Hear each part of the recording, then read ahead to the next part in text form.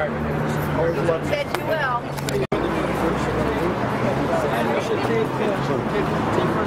Sandy.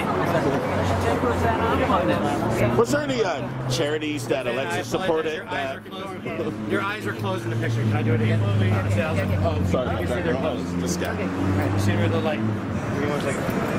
You ready? It's kind of hard to walk. I'm on YouTube. Have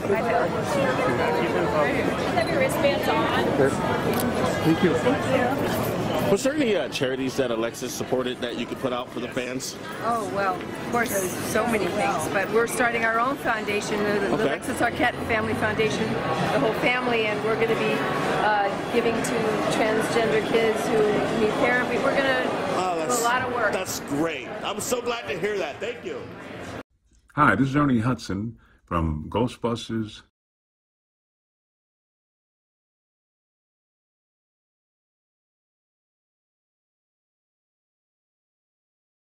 Just visit autographstoyou.com.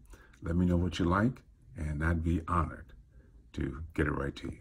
Okay, take care, have fun, and uh, keep on.